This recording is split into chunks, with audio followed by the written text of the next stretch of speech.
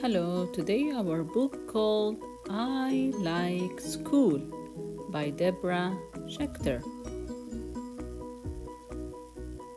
I like to read. I like to paint.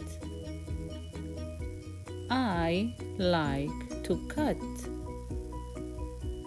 I like to glue.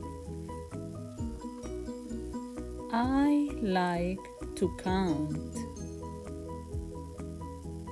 I like to write. I like school. Goodbye.